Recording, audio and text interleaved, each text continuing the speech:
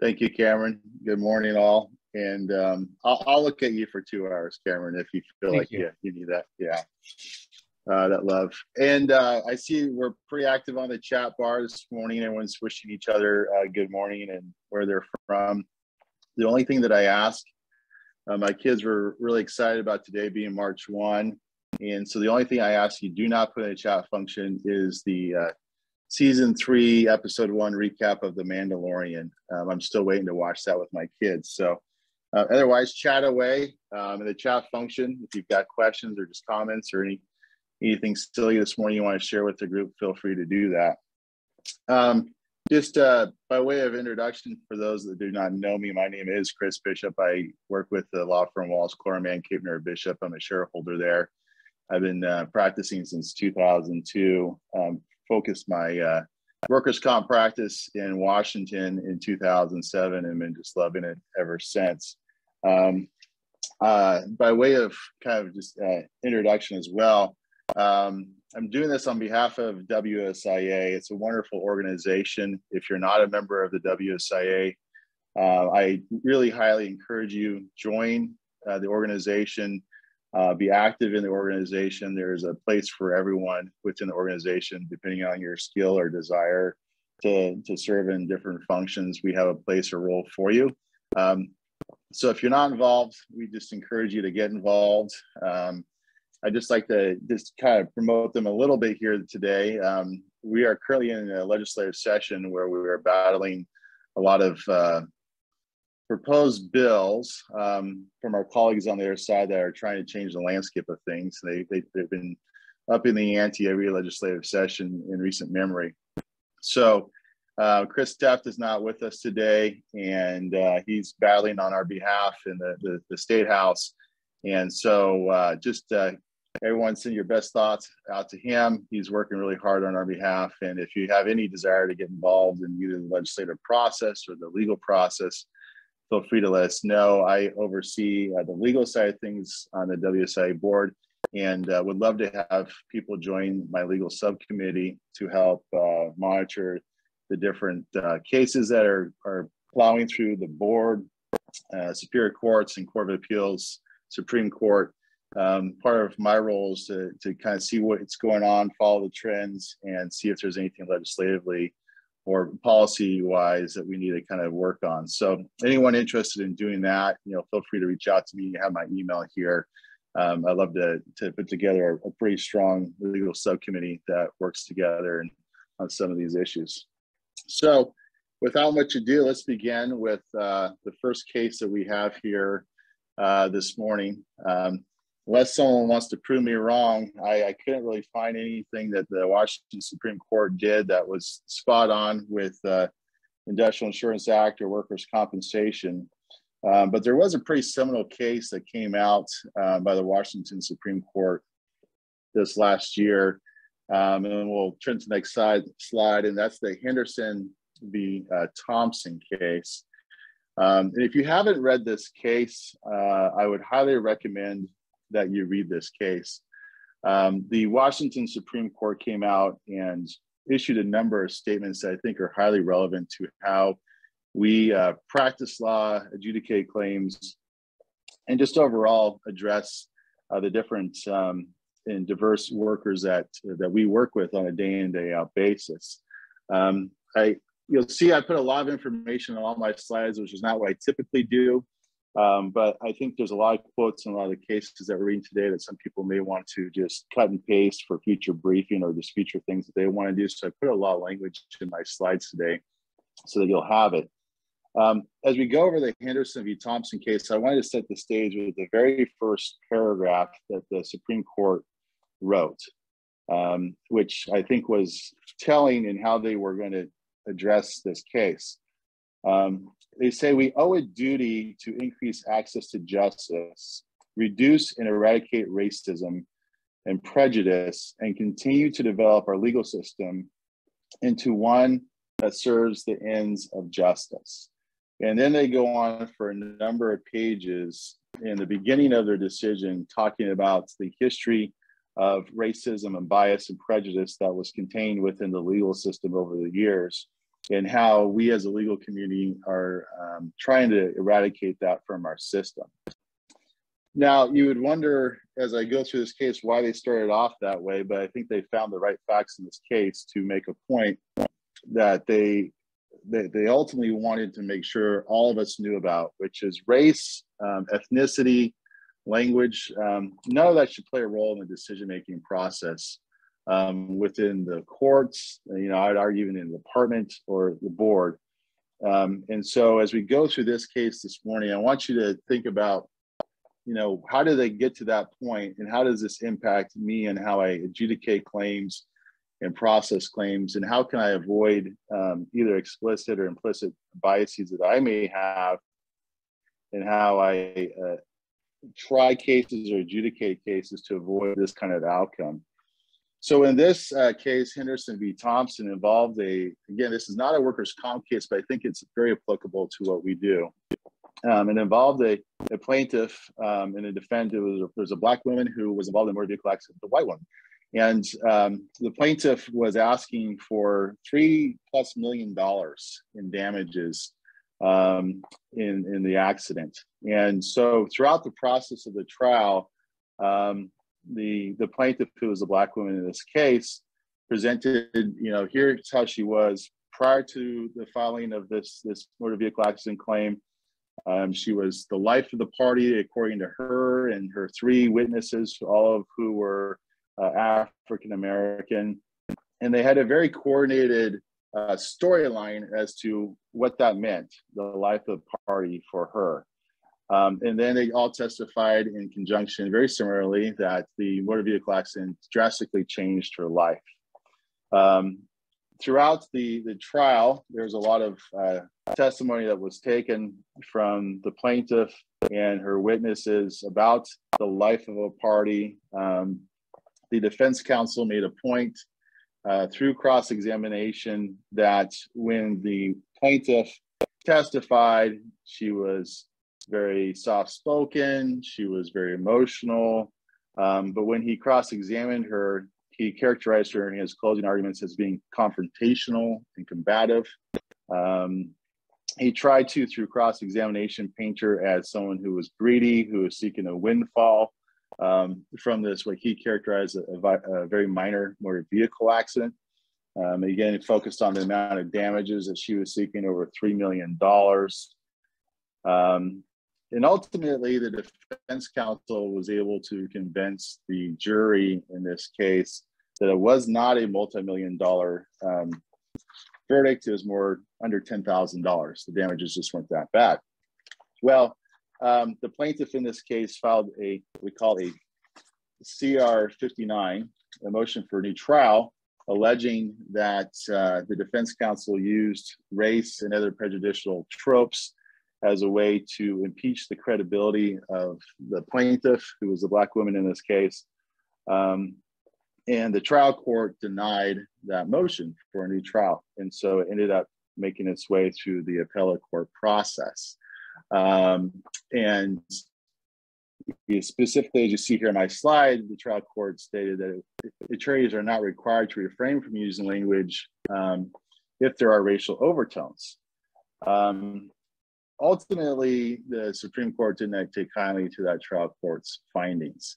Um, and they said uh, in this case that a trial court must hold a hearing on a new trial motion when the proponent makes a prima facie showing that the objective observer could view race as a factor in the verdict, regardless of whether intentional misconduct has been shown or the court believes there is another explanation.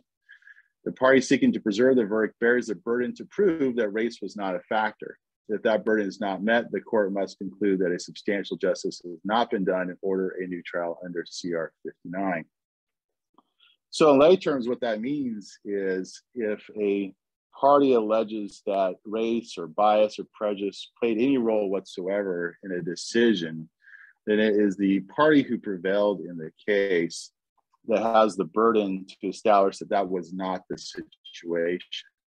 And in this case, um, the defense counsel argued that they did not use racial tropes intentionally, that they, they, were not um, making arguments in a way that would conjure up um, any racial issues or prejudicial issues. They were essentially just characterizing the witness as being combative or confrontational or seeking a windfall um, or exaggerating their symptoms, if you will. Um, why I think this case is instructive is because I see this happening in the workers' comp setting uh, quite frequently, where we characterize the injured worker as someone who's seeking more uh, benefits than they are owed, um, that they might be greedy, etc. Um, so, why this case is instructive and why I would counsel everyone to read is because the way the defense counsel in this case um, cross-examined the witness, the way that they conducted their closing arguments, the Supreme Court found that a new trial um, may need to be considered based upon the factors that were presented in the case. Um, and so it went back to the trial court, and I'm not sure where it's at right now, but they had to uh, consider and go through the, the burden of showing that race was not involved. Um, part of this case, I think, is instructive for all of us. If you go to, by the way, this this was an opinion that it was called en banc, which means all the Supreme Court signed off on it. But there are a couple um, concurring opinions in this case by way of clarification. And if you read the concurring opinion, they want they went out of their way to say the following. They said, "We do not read the majority's decision to undermine our precedent concerning the importance of probing cross-examination designed to address witness credibility. Our adversarial system requires courts to permit searching cross-examination of witnesses to test their perception, their recall, and their reliability. Um, and they also went on to say that they did not believe that the party is prevented from exploring a witness's financial or other interests that might undermine their credibility um, so they disagree to some extent with the characterization of racial bias in some of the defense counsel's arguments at uh, cross-examination and specifically said that the desire for financial windfall was not in and of itself a racial issue. Um, it was essentially just um, a characterization of what the, the injured party in this case was seeking. So um, a lot of back and forth between the Supreme Court um, as to what is and is not um, prejudicial or biased or racial as far as uh, cross-examination and closing arguments are concerned. Um, but I think we all have to just read this case and recognize the fine line that we are walking we do go after the credibility of uh, an injured worker.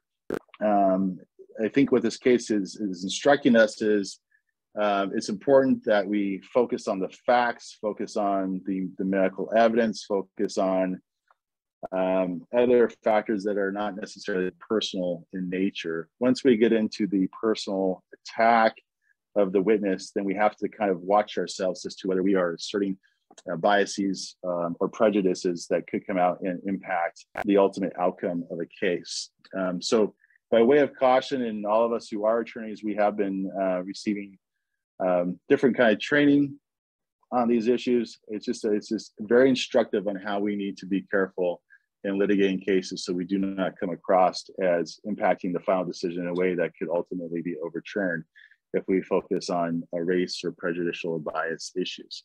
Again, in this case, um, it does not come out overtly that the defense counsel was doing that intentionally.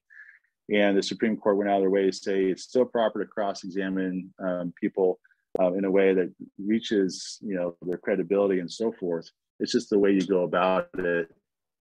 Um, you have to be careful. I think the other part of this case that's instructive and why um, they may have focused on the, the bad acts if you will of the defense counsel a bit more than they normally would have um, is that there was a discovery issue in this case and for those of us who uh, do video surveillance quite frequently in how we uh, process and adjudicate claims again, I would highly recommend you read this case as it's instructive on how to handle our private investigations. In this case, um, the defense counsel called their investigator, and the investigator testified um, about approximately 17 minutes of video surveillance of the plaintiff.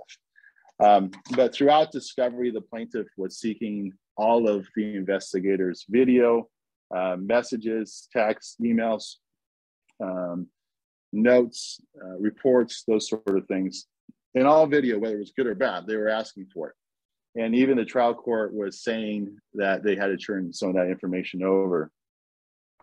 And over a year and a half went by in the discovery dispute about the, the investigation, uh, the surveillance, et cetera. And there's approximately 78 hours of video or time spent on this case, but the investigator only testified as to 17 hours. Um, so this case is very instructive. Uh, when you are doing uh, investigative efforts, uh, video surveillance, gathering information, intelligence, you have to be very cautious about the discovery process. If you turn over only the good stuff and refuse to provide the stuff that does not favor you, there could be uh, an instruction by the judge, uh, what we call spoliation, which is um, if you don't turn over evidence that is bad, it's just going to be assumed that that evidence was bad because you're not showing it. Um, so it's it's better to be forthcoming in the disclosure of your evidence. If you are going to be withholding evidence for a valid reason, make sure you're very clear about why you're withholding that evidence. Um, but the, at the end of the day, if you're hiding bad evidence and the judge um, or trier of fact comes to find out about it, it may not work in your favor. Um, you may get sanctioned for it. So again, here's the Henderson v. Thompson case, instructive on racial prejudicial issues as well as discovery. And I, I highly recommend this read, uh, even though it's not specifically workers' comp. There's a lot of things within this case that apply to what we do on a on a regular basis. So uh, with that, Carrie, if you could switch to the next slide. Okay, um, so there is a case that was just granted by the Supreme Court. Um, if we go to the next slide, Carrie, um, this is the Long v. AutoZone case. This is a very interesting case um, because I'm not quite sure why the Supreme Court uh, granted review um, because the issue seemed to be pretty clear cut at every level, the department level, the board level, Superior Court level. Court of Appeals level, um, but the Supreme Court granted review for some reason. And um, the attorneys in this case are, are trying to make a point. The that point is as follows. Um, in this case, the Department of Labor and Industries was seeking an opinion from an independent medical evaluator, Dr. Bully. And there was a couple issues it appears that were involved in this case. And one of those issues was whether the worker had a right knee um, patellar uh, arthritic condition that was related to the claim. And so they went back and forth, it looks like, with the IME doctor in this case to determine whether that condition uh, was or was not related uh, to the claim. Ultimately, they made the decision, the department did, to segregate that condition based upon the opinions that they got from the IME provider. Um, then the department um, turned around and asked Dr. Bully um, questions about work restrictions. Um, and there seemed to have been some confusing responses, and ultimately they tried to um, they tried to get a clarification from Dr. Bully as to what restrictions were applicable and whether they're claim related or not. So after the segregation order issued, Dr. Bully issued an addendum report, and the uh, claimant attorney in this case did not um, appeal or protest the original segregation order. Uh, and 72 days went by after the segregation order issued. And then they looked at the department file and they noticed that one of Dr. Bully's addendum reports was contained within the department file. And they made the argument that, hey, you know, department, here's a report from an IME provider that would suggest that the segregated conditions are in fact uh, work related he's commenting on work restrictions, and in those comments, he seems to suggest um, that the pre-existing arthritic conditions were work-related, or that the work restrictions were caused by those conditions. Um, so they asserted that okay, the department there was a timely protest, even though we didn't bring this to your attention for 72 days after the segregation order. That receipt of the IME report by the department after they requested the opinion constituted a protest. So um, the department did not buy that argument. Um, they said the IME doctor was not an aggrieved party. They were not uh, considered a healthcare provider within the meeting of RCW 5152060. Um, and therefore, uh, the IME doctor's opinion would not constitute a protest um, like a, a, a, an opinion from an attending provider who was actually treating the worker. Um, there's a bunch of motions that went back and forth on this issue, and ultimately um, the claimant's side lost those motions for summary judgment, um, went to the Court of Appeals, they lost again. And again, the Supreme Court um, took this on, they granted review. And we anticipate a decision uh, sometime uh, this year. Um, the, the, the Court of Appeals decision, which is under review, said uh, specifically that while they try to characterize Dr. Bully's addendum on work restrictions as a protest, it was not. To constitute a protest, the communication must reasonably put the department on notice that the worker is taking issue with some department decision. In making this determination, we consider the content of the communication itself and the relevant information that was in the possession of the department at the time of the communication, citing the Boyd v. City of Olympia case. Um, the Court of Appeals concluded that Dr. Bully's addendum on work restrictions did not constitute a protest. Um, the list of work restrictions in response to the department's request opined on work restrictions, not on the causation of those work restrictions. Um, so even if you were to assume that an IME provider was an aggrieved party or a healthcare provider, just looking at Dr. Bully's opinion in and of itself did not constitute what was causing those work restrictions. He was just responding to what work restrictions the worker had. Um, now, why is this case important? Why are we monitoring this case? Um, and what are what are the sea changes that could happen? Well, if the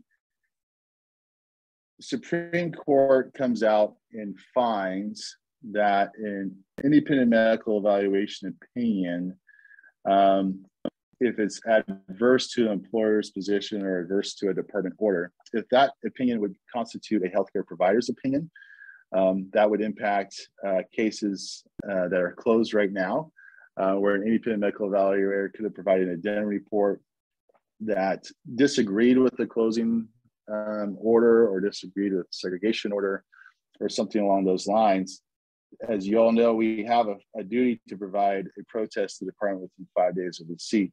And so if the claimant's attorney prevails in this case that an IME report uh, could constitute a healthcare provider, aggrieved party um, ability to protest, then theoretically they can go back in time and mine um, IME addendum reports or even IME reports to determine whether there's information contained in there that would constitute protest to an adverse uh, department order against their interests.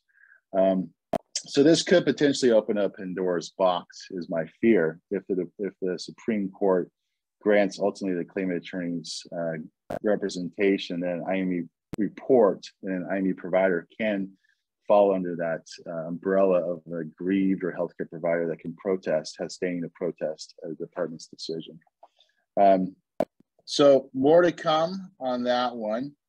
Um, just as a reminder, um, under under that Boyd decision that is cited to here in Long v. AutoZone, um, claim adjudicators, it's important that you take a look at uh, chart notes, you take a look at documents that you receive from injured workers. And if a reasonable person would construe that document as a dispute or a protest to a department decision, please uh, forward that to the department within five days of receipt. Um, sometimes we just don't know. It's not very clear from the document as to whether they are trying to dispute or protest a decision.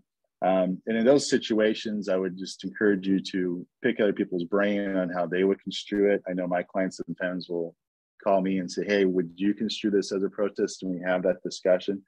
And sometimes we've even sent a letter off to the department saying, hey, we don't construe this document as a protest, but we are providing it to you within five days as required in case you do uh, construe it as a protest, because the test is also, if the department construes it as a protest, it's going to be viewed as a protest.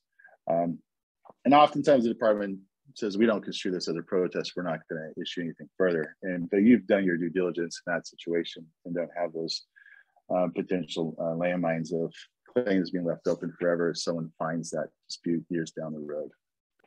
Okay, um, so that ends our review of what's going on at the Washington Supreme Court. Um, so let's move forward to the next slides on what's going on at the Court of Appeals. So here's just a slide, kind of just as a reminder. Um, we have three divisions at the Court of Appeals. Uh, here's the geographical locations. Um, obviously, Division Three covers a lot of land. Um, not a lot of population there, but they cover a lot of land, and uh, they tend to be more conservative in our, our, our experience. And then we have Division One and Division Two. Um, I haven't divided these up. I, I put it in chronological order as we as they came down, but I just wanted you to see kind of how, how the, the world is divided in Washington as the Court of Appeals. So let's begin the Court Appeals with the published decisions. These are decisions that carry more weight um, than unpublished decisions, um, are most more significant. So although you can cite to unpublished decisions for policy or persuasive arguments, uh, published decisions carry precedent. Um, so let's start with uh, Smith v. Department of Labor and Industries.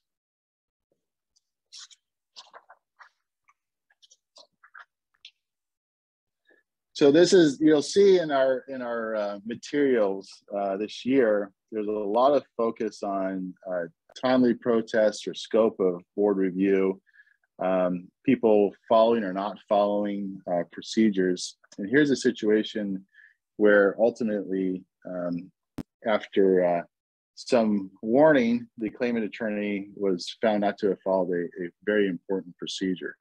Um, so in this case, the uh, the claimant's attorney um, was attempting to represent the injured worker on a number of different claims, and you've all seen the letters that come through from a claimant attorney's offices. You know, we represent or we're not representing them yet, but we're asking for a claim file to see if we want to represent them. There's just various forms um, that we get from injured worker attorneys as to what they're doing and what process they're at in, in reviewing a claim. And in this case, the claimant's attorney sent a number of uh, correspondences to the Department of Labor and Industries regarding a couple of different claims. And in one of those, um, the attorney just sent a letter on their own, it looks like, saying they represent the injured worker, but there is nothing uh, from the injured worker themselves authorizing the injured worker, the injured worker attorney, to uh, protest or to represent them on the claim. And so they, the department gets this letter saying, um, we represent so and so, we protest, but there's nothing there indicating the worker had authorized them to protest or represent them on that claim. Uh, the department actually called the injured worker attorney, it looks like one, if not two times, informing them that, hey, you know, we don't have a proper representation, we don't have a proper protest. Um, please get something into us indicating that the worker has authorized you to represent them in this case versus just you saying it on your on your own. Um, and the statute is very clear uh, in this situation that the worker has to authorize the representative to um, protest on their behalf if that's going to take place. So anyways, after the department advised the uh, injured worker attorney that, hey, we don't have a proper representation from you, so we can't view your information as a protest. He finally gets that 14 months later, um, and then files a protest or a secured message saying he was protesting an adverse decision. Um, and so the department obviously denied that as untimely. Um, in the in the process, they were looking at RCW 5104080. And I'll just read to you kind of the heart of this decision. It says the plain language of the statute makes clear that when a claimant desires to have a department order forwarded to the claimant's representative, the claimant must personally convey to the department a writing signed by the claimant that sets forth the representative's name and address. In other words, the attorney can't just do it on their own. They can't just say we're representing the worker and they don't have anything from the worker confirming that. The court then went on to say that the statute um, at each claimant's inception must have this requirement met. So it's not enough that you've done it on a prior claim if you're an injured worker attorney, you must do it on every claim. So here the claimant's attorney had it all properly wrapped up on a previous claim and he thought he had covered his bases and didn't have to do it again on the subsequent claim. But of course, says for every claim that you're representing an injured worker under, you need to have their written authorization. And in interpreting RCW 5104080, it says statute provides a means by which the claimant must request that an order be forwarded to the claimant's representative. The statute provides that an order may be forwarded to the claimant in care of representative before an order has been entered if the claimant sets forth in writing the name and address of the representative to whom the claimant desires this information to be forwarded. Um, so this is very specific to the statute. Um, it's very specific to the representation of an injured worker. Um, I have not seen the statute be um, construed in such a way that defense counsel must have written um, authorization from their clients to file protests, and nor has the department ever interpreted it that way. So I'm not saying that it has to be construed to apply to defense counsel, but here's here's a, a tip for you. And, and oftentimes we see this, right? You, you get a number of claims um, from a worker and a number of different letters from the worker's representatives. So my first tip is look at each one of those letters. Uh, make sure that the worker has signed off on each one of those claims that the law firm or the attorney is representing them on that particular claim. If they have not signed off, the worker that is, on the attorney representing on that claim, then that attorney does not represent them under that claim for purposes of the statute. Um, similarly, I see a lot of situations where the injured worker law firm withdraws representation and as they do so, they file a generic protest with the Department of Labor and Industry saying, hey, we're not involved in this anymore. We're not you know, taking more money from our, our client. But just in case there's something out there, we're filing a protest. Um, I have got mixed results in this, but I usually respond to that uh, generic protest and say they don't have the authority to do that because they are no longer representing the worker. I think the department has historically construe those protests as valid protests. But this case would suggest, um, although it doesn't, it's not spot on with that issue, would suggest that if there is a withdrawal of representation, then that injured worker uh, representative no longer has the authority to represent that worker. And therefore, if they do one of those generic protests, I would argue, um, and I think I would encourage others to argue the same, that they can't, that, that protest is untimely. And unless the worker themselves files a protest after that withdrawal, then the order should go final and binding. That's an argument that I'm pursuing, and hopefully we can we can get some some case law on that because I think those are bogus protests. Um, all right, so that ends uh, Smith v. Department of Labor and Industries. And um, while we're at this point, um, I'll just pause, take a breath. And Cameron, do we have any questions in the chat or any good jokes that we can share, or should we move on? Uh, certainly no good jokes. Um, I, so far, the chat has been kind of quiet, but so people fire away. Um, All right. I will uh, feed those to Chris as we go, but let's continue on. Okay, thank you. I need a drink of water anyway. So, okay, so the next published decision, Court of Appeals. This is Department of Labor and Industries v. Higgins. Um, this is a very interesting uh, over seven aggravation case. Um, in this case, the claimant sought to reopen the claim for medical time loss and or a pension. Um, however, the, the director of the department uh, used their discretion to only reopen it for medical and an increased PPD award. They did not um, utilize their discretion to give the worker either time loss or a pension. Um, the worker then appealed to the board to request the time loss and pension benefits. And so the question in this case was, what is the standard of review um, at the board on a post uh, seven aggravation claim? There's been a lot of debate and discussion on this particular topic, and I think the board has even given us inconsistent results on this. Um, and interesting in this case, um, the worker argued that the standard of review um, that the judge should use in determining whether they're entitled to time loss or pension benefits was a preponderance of evidence standard, which is a normal um, a standard review for you know claim closure or other time loss irrigation orders. Um, and the the argument in this case was that was the same standard here, even though it was a post seven uh, decision. Um, so the board actually said, yes, we'll use the preponderance of evidence standard.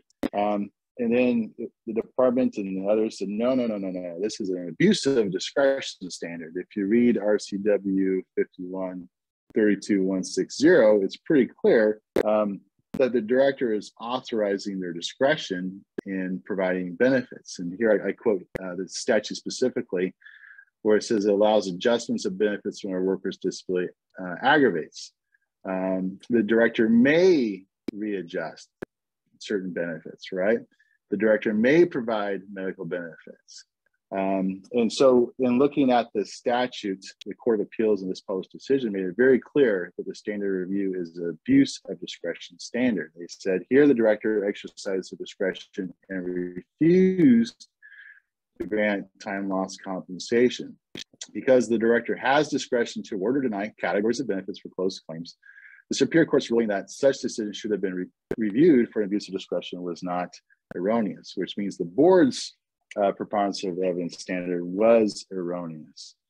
Now, um, so in short, what this means is if you if you have a post seven aggravation case, you have to prove that the director abused their discretion um, in issuing the benefit that was issued. However, um, there's a, a little nuance here that if the, the question at the board is the amount of the benefit, then the likelihood of review is preponderance of evidence. So, for example, the director, if they issue a, a increased permanent partial disability award in this case, the issuance of that award, the review of whether the director should or should not have done that, would be abuse of discretion. Now, if you get to the board and there's a discussion as to whether the PPD award should be a category two or category three or category four, the lumbar spine, for example, then the preponderance of evidence would determine the amount of the benefit. So the, the review for the director's decision is an abuse of discretion, but whether the benefit amount is correct or not, that still remains a preponderance of evidence. So that's a little nuanced uh, for us attorneys, but just for those out there not attorneys, it's important to note that it's very difficult to say that the director abused their discretion. But if the amount of benefits provided is at issue, argue that the preponderance of evidence indicates the amount should have been different, if that makes sense. Okay. Next, let's talk about um, Cordova, the Department of Retirement Systems. I don't know um, how many of us um, are involved in cases like this. This was a very interesting case that's not necessarily starting off specifically as a workers' comp case, but because it um, implicates the workers' compensation statutes, an analysis um, of what is an industrial injury or not took place in this case. Uh, this is, a, is, actually a very sad case. It's a situation where Seattle Police Department detective um, was assigned to uh, be over a team investigating a, a multiple shooting uh, incident of three other officers. And this detective, who was assigned to oversee the investigation of this, um, did so for a period of time of approximately 10 days. Um, obviously, very highly uh, stressful situation, a lot of trauma involved with the officers that were shot. Um, and this uh, injured worker um, had never done something like this in a supervisory fashion before. Um, after about 10 days being assigned to investigating this incident, um, the worker's wife um, left him uh, and his son. They're upstairs, looks like playing on iPad, or watching TV. She went to go on an errand. When she came back from her errand, she unfortunately found her husband um, had passed away with his iPad on his chest. Um, and so the uh, surviving spouse here filed an application with the retirement systems, the law enforcement officers and firefighters program, LEOFF, if you're not familiar with that. Um, and under that program, they have a statute that says that the special death benefits will be provided.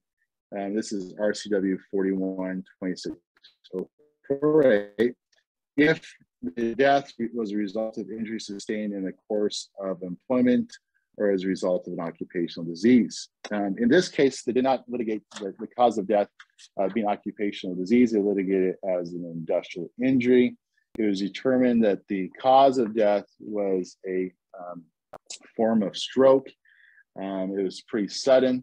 And so the argument that was being made by Mark the claimant's attorney in this case, was that this stroke event satisfied the uh, definition of an industrial injury because during this 10 day period of time, there was a lot of stress involved in dealing with this traumatic event. And ultimately, that stress over that 10 day period of time um, they argued, caused the stroke. Um, in this case, however, the court said no, and they looked at the definition of industrial injury under RCW 5108-100. It said that the testimony demonstrated that there was no evidence that a single identifiable event during the 10-day period, uh, period issue can be characterized as an unusual exertion within the ambit of a sudden and tangible happening of a traumatic nature uh, required to establish industrial injury. And in these cases that we're, we're, we're looking at that involve strokes um, or things of vascular nature, um, you have to demonstrate that there was an unusual exertion. And that could be a physical exertion or emotional exertion. And this case goes over the precedent of different physical emotional exertions that have existed in the past that were compensable or not. Um, and in this case, they found that although there was a lot of workplace stress uh, throughout that 10 day period of time, that there was no qualifying event or one specific thing that happened that would constitute an unusual emotional or physical exertion to have caused that stroke or one specific, uh, specific event that they could point to. Um, you know, again, the wife's testimony was she saw her husband watching TV on the iPad with her son and returned and uh, he was deceased. There was no indication that there was some sort of immediate emotional response to something that he was doing at work when that occurred, uh, or that he was exerting himself physically to the point that would have caused a stroke during that period of time uh, between when she saw him both before and after um, his death. And so take a look at this case. There's a lot of good language in here as to what constitutes an industrial injury. Um, you know, they specifically say an injury cannot be based on multiple exposures or multiple traumas occurring over a period of time.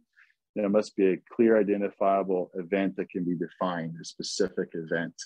Um, and again, in, in, vascular accidents or strokes, you've got to show there's certain emotional or physical exertion that would have occurred prior to the event, in this case, the death. And so um, in this case, ultimately, the worker was unable to prove that. Okay. So let's move on to Longhorse v. Department of Labor and Industries. Hey, Chris, this I've got a question for you. Um, came in right. on the Q and A. Uh, I thought I'd break it up. Uh, it's from our, fat, our, our friend Patrick. Uh, he asked for later if a worker declines to sign both the PIR and the SIF2, is the claim allowable? And this was right after your the uh, prior presentation. Right when I said there were no questions, it popped through. So, and then you started going. Okay, I've written that down. Um, I will. I'll pause here to just generically answer this. I can't give out specific legal advice in a, a legal seminar, um, but here's what I can I can offer you in response to that. Um, typically, the department is going to require uh, physicians incident report or providers incident report um, to allow a claim. Obviously, there's case law out there that that document in of itself is completed and signed and says there is a claim that that is prima facie evidence of an injury or occupational disease. Uh, we know recently this this year there's been a lot of song and dance between us and the, the Department of Labor Industries as to uh, the SIF2 form issues. Um, and at the end of the day, the department has said there's seven essential function or essential parts of that SIF2 that must be completed by either the worker or um, the claim manager uh, overseeing that claim. So if, uh, I guess at the end of the day, if you know about an industrial injury or an occupational disease has been brought to your attention, the department has instructed or encouraged us to complete these seven essential portions of the SIF2 form and turn it into them uh, for the commencement of a claim. Now, the question is whether that just automatically allows the claim. I would say no. Um, you still have to look at medical evidence and um, the circumstances giving rise to that claim. But um, the department is kind of taking a proactive position. I think uh, they're going to be enforcing this throughout uh, 2023 that if we knew about a claim, it was brought to our attention, we, we try to get the worker to sign SIF2, and they just didn't return it to us, or for one reason or the other, they were unable to return it to us. They are taking the position that if we know about it, we should complete the SIF2 form uh, at least the seven parts of that that they deem to be essential and turn it in and with the recommendation as to whether it should be allowed or denied or whether you need to request interlocutory status to figure that out. Thank you. So, Karen, did I get to the heart of that question? I hope. I, I think so. Um, very good question. And, and it's uh, definitely one of those policy issues that have been uh, going back and forth. And I know some people have you know litigated that or try to litigate that, but that I'm just kind of giving the department's perspective on that because I know what they are trying to enforce and how we can be penalized. So my goal is not to have anyone penalized today. um, okay. So uh, let's go on to the next slide around the Longhorse case. This is um this is an issue that has been percolating ever since I've been practicing Washington workers' comp. And the, the primary person that would always bring it up in, in cases with me was uh, Jerry Casey, uh, who's now since retired. Um, but I, he was the main proponent that I saw was pushing for this, although others were pushing for it as well. And essentially, the facts are these, right? So, uh, someone files an aggravation claim. Uh, we all know that uh, there's 90 days to to have a decision on that to avoid becoming deemed granted, um, and that we should make that, that decision within 90 days as best we can. If we, we cannot make that decision within 90 days, you know, we try to request a 60 day extension to allow us to get additional information, such as independent medical evaluation or gathering prior records or taking a claimant statement for that matter, or getting a completed um, document of some sort. Um, so in this case, um, the department actually denied the claim initially within 65 days, but then the worker requested uh, reconsideration of that denial. And um, time went on, you know, we all know the department has has has some issues doing some things um, sometimes on a timely basis. But for one reason or the other, after the request for reconsideration was filed, um, the department ultimately affirmed the denial 184 days later. So obviously, uh, the worker was not very excited about the delay that it took in reaching that decision and filed an appeal to the board um, where they lost and uh, Superior Court where they lost and then ultimately to the Court of Appeals where they lost again. And their argument was that, look, you know, the worker has to have a remedy. Um, and this should have been a deemed granted situation because so much time elapsed between when they filed a protest to claim denial and when the department uh, actually affirmed claim denial.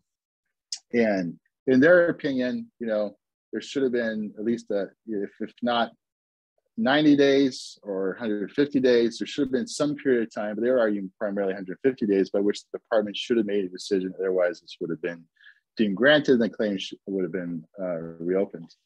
And here's um, here's just another front that we may be fighting um, in the next legislative session, if not in this one, um, if there's some last minute things that happen.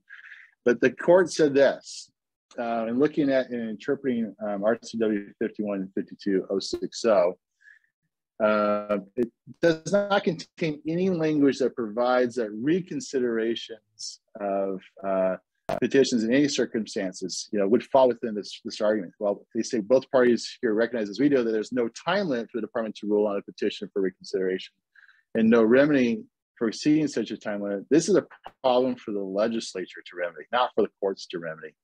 Um, and then they go on to say that, you know, the workers said, well, we're left with no other remedy other than to file a writ of mandamus or asking the superior court to make the department act.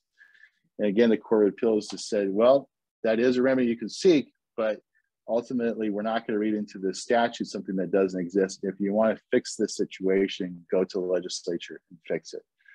Um, so those of us in our WSIA legislative gang that uh, look at you know issues and things to anticipate coming down the road, um, I anticipate that given multiple statements by the Court of Appeals, and uh, just kind of how the facts in this case played out, being you know, 184 days after the protest, the department finally acted on the protest.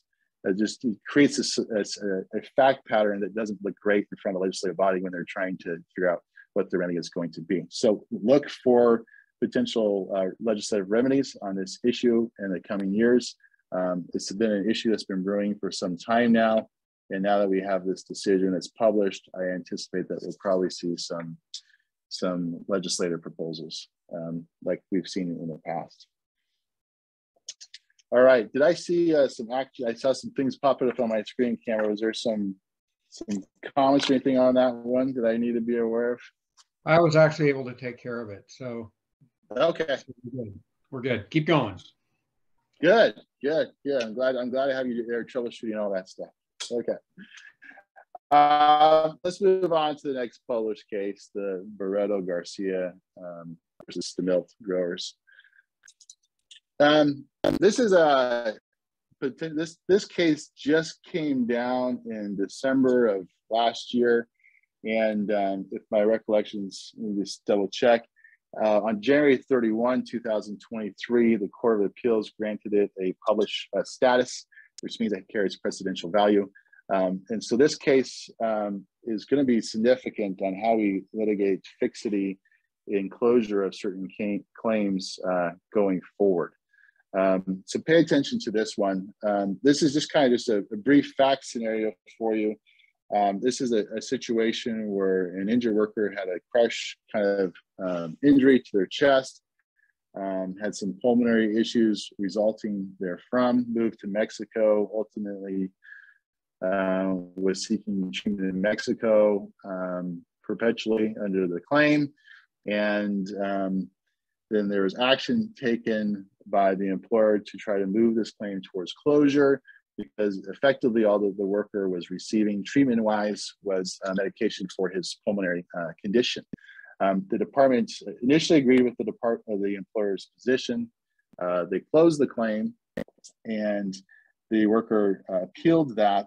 And the board at the IAJ level and the, the, the, the petition for review level all affirmed closure. And the argument in this case was was the ongoing receipt of medication for this worker's pulmonary condition would that constitute um, under WAC 29620-01002 sub 3 uh, a state of um, taking them out of fixed and stable and making them more in the state of uh, receiving treatment that would be considered curative.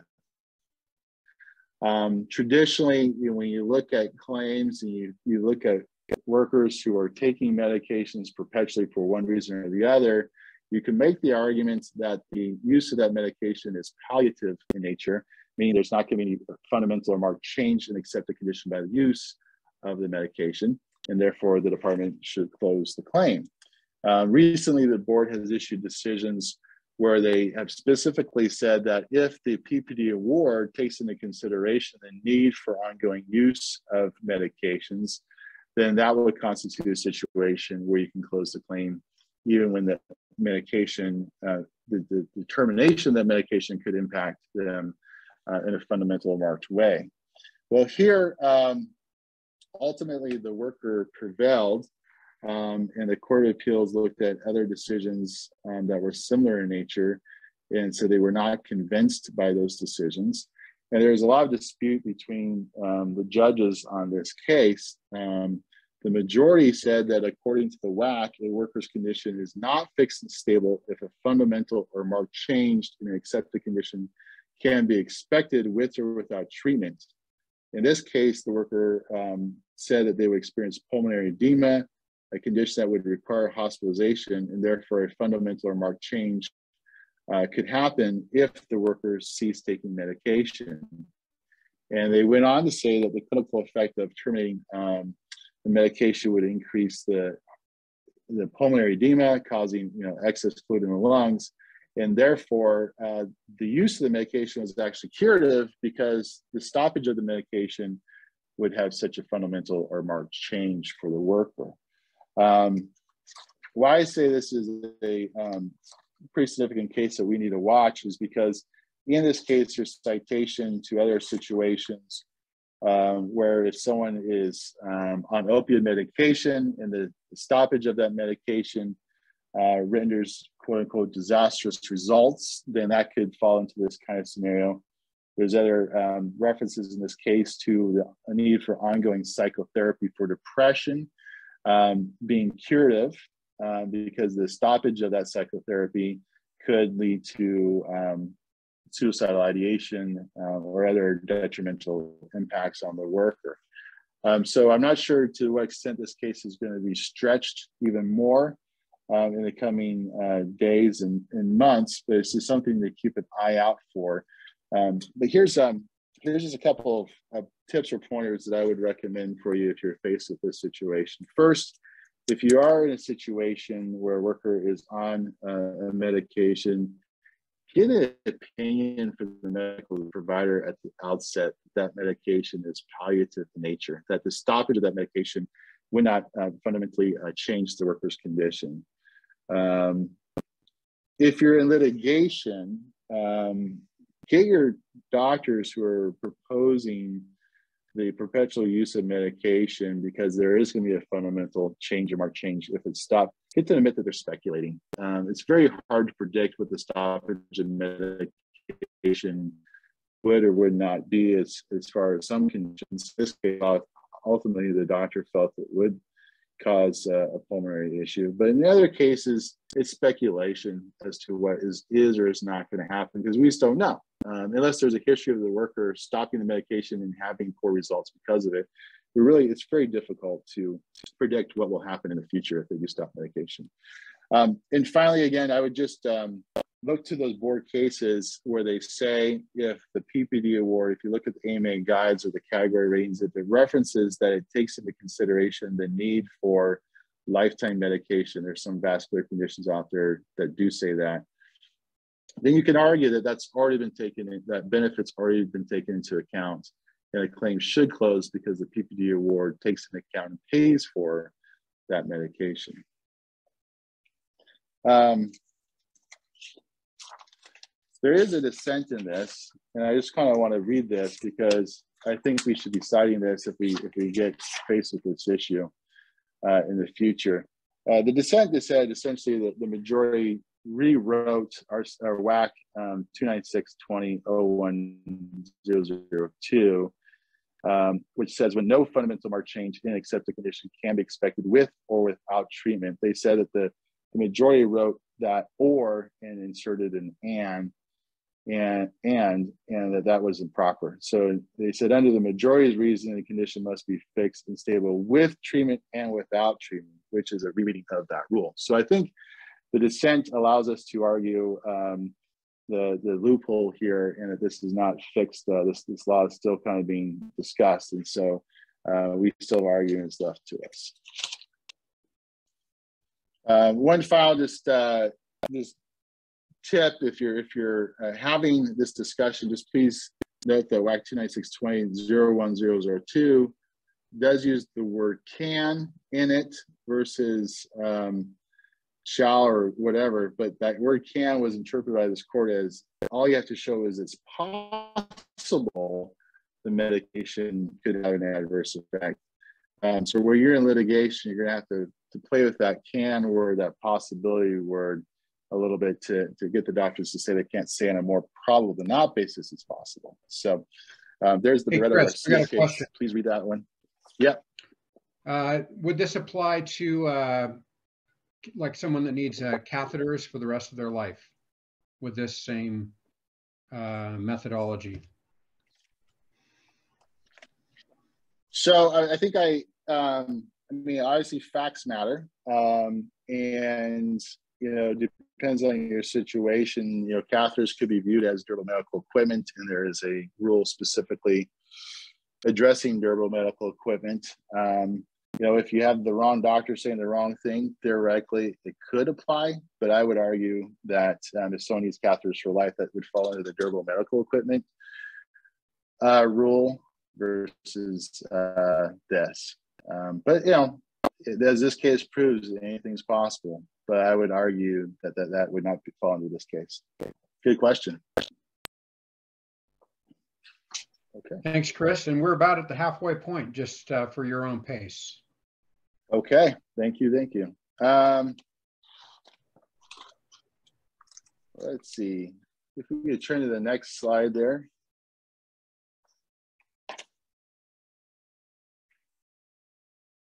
So now we're moving into the realm of uh, unpublished cases at the Court of Appeals. These are cases, again, that don't carry as much of a precedential value as far as when you cite them, whether further courts will obey and follow the direction of, of the appellate court. But certainly uh, these unpublished decisions give us um, an idea of where the, the trends are, what uh, policies are trying to be implemented in future litigation. And so um, obviously, there's going to be some some information containing within these cases that we'll want to monitor and, and see.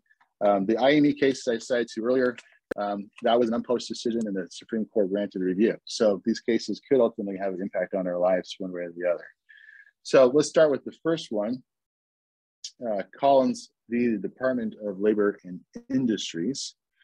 Um, this is a case where the, the worker argued um, that the board didn't have a certain scope of review. So in this case, the department issued an order segregating a certain condition from the claim. And then later, it looks like they rejected the claim after the segregation uh, order issued. And the, the worker tried to argue, first and foremost, that the department did not have jurisdiction to issue even a segregation order um, but ultimately, they were trying to argue that the department couldn't issue a rejection order after they issued a segregation order. Um, they also try to get, and this is why I included this case, I thought this was interesting.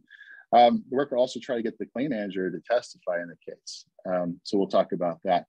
Um, ultimately, the, the Court of Appeals said in this case that uh, no legal authority that prohibits the department from adjudicating claim when a separate claim from the same claimant has been appealed.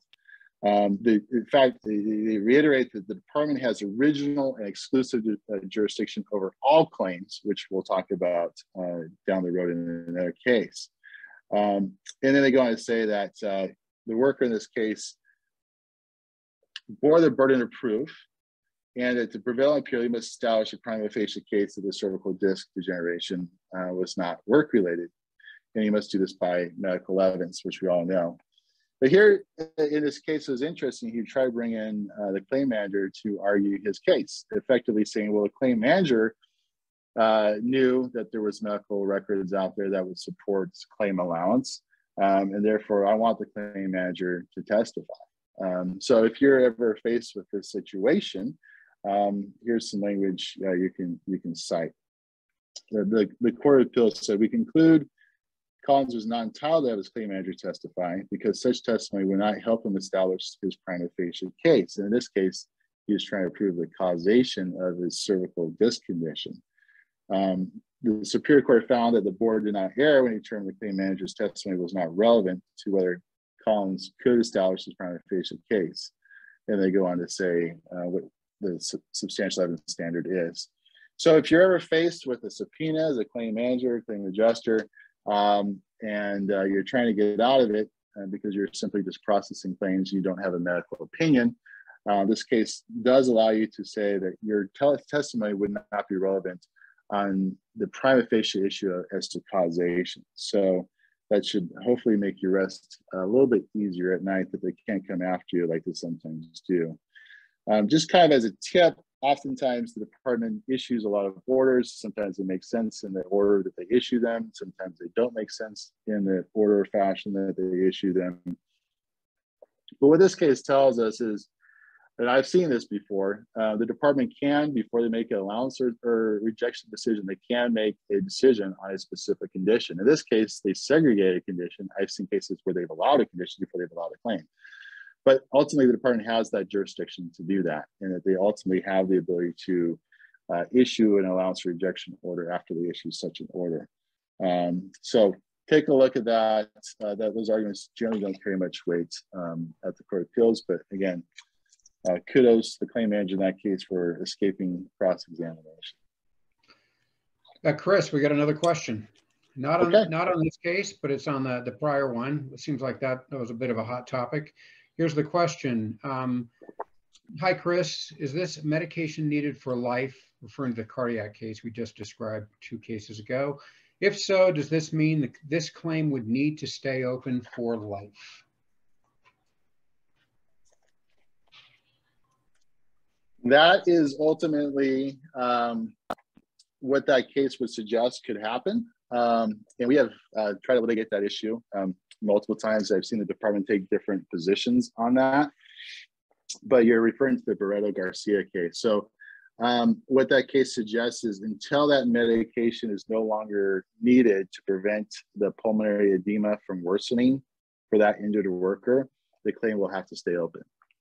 Um, that in that case, the employer is going to have to try to find evidence that at some point in time that medication is no longer quote unquote curative in that if the worker stops it, um, he won't have a fundamental or marked change in his pulmonary condition. Um, but otherwise, and unfortunately for that employer, um, they're going to have to be keeping that claim open for a little bit longer. Perfect. Thank you.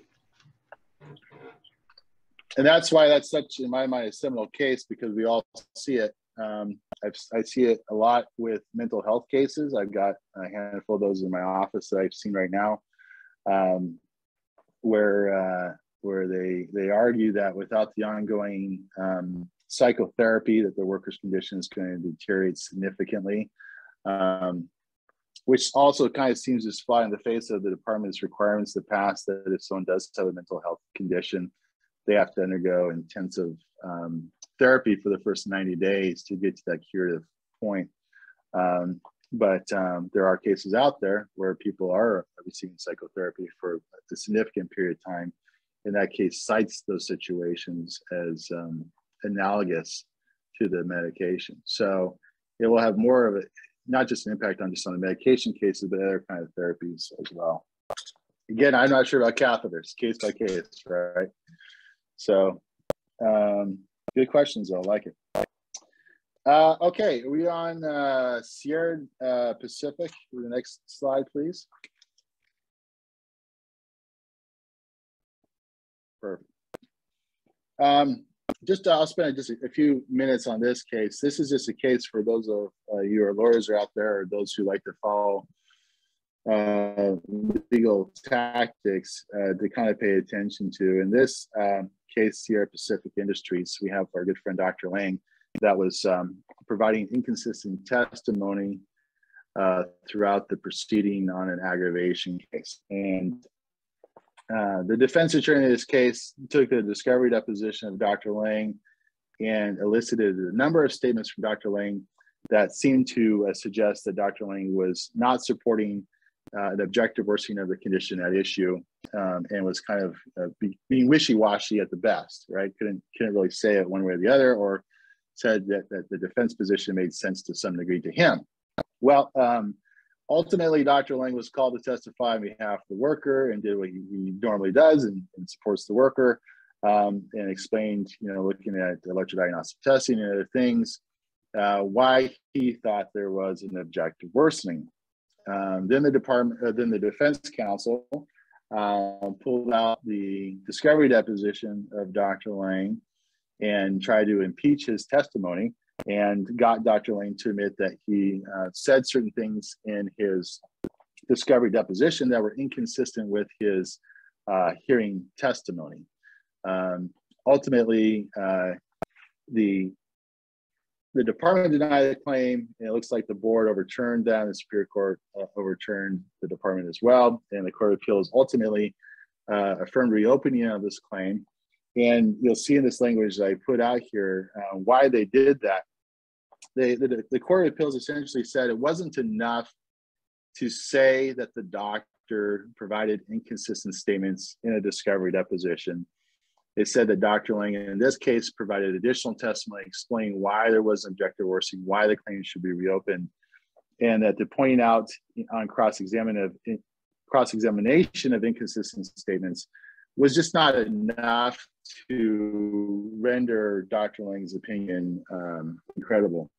And so, what the Court of Appeals said is you have to do a little bit more. That just point out inconsistent statements on cross examination doesn't get you over the hump on, on overturning the board's decision. You're going to have to do a little bit more and really dig into, in this case, Dr. Lang's opinion to get him to say he's essentially reversing his opinion or he said this at the discovery deposition and that is his opinion at this time on a more problematic basis.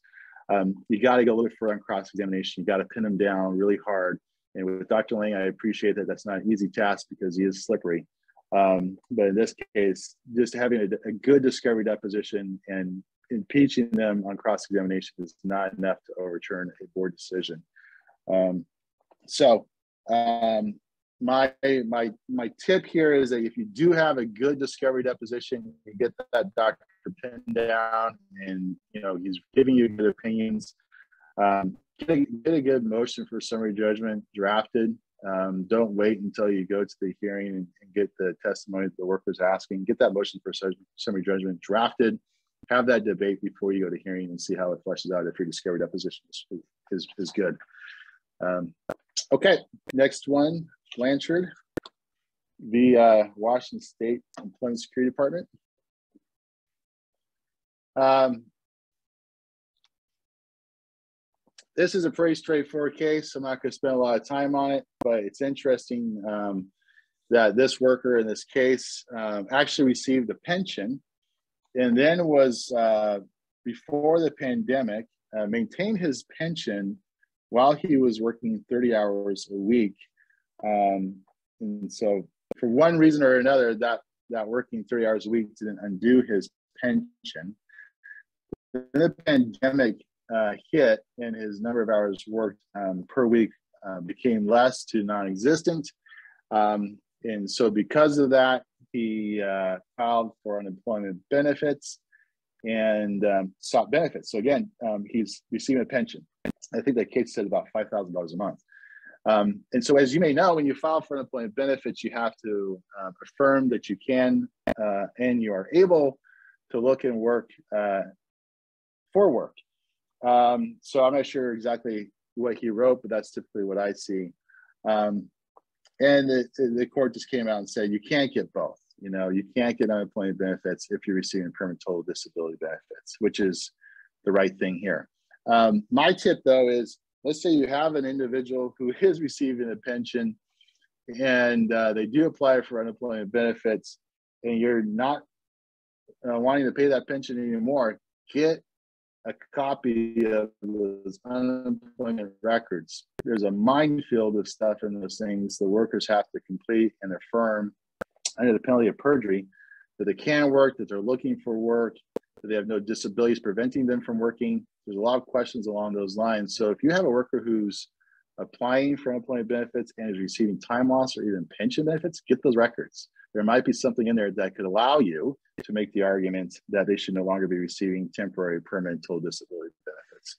So, anyways, a straightforward case, can't double dip, but uh, it just uh, goes to show that uh, there's some, some, ways you can you can find uh, to end those pension or, or time loss benefits if you look for it. Okay. Uh, Carr versus Department of Labor and Industries. There's a number of cases in, that came out this last year um, that talk about notices of appeal, scope of appeal.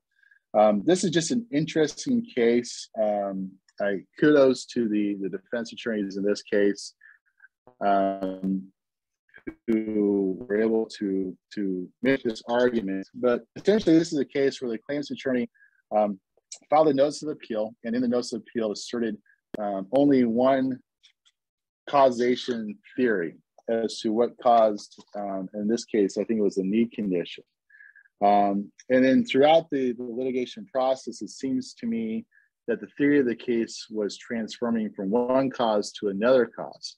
Um, but at no point in time on the record did the claimant's attorney uh, modify the issue or modify their notice of appeal to address the alternative cause of the knee condition.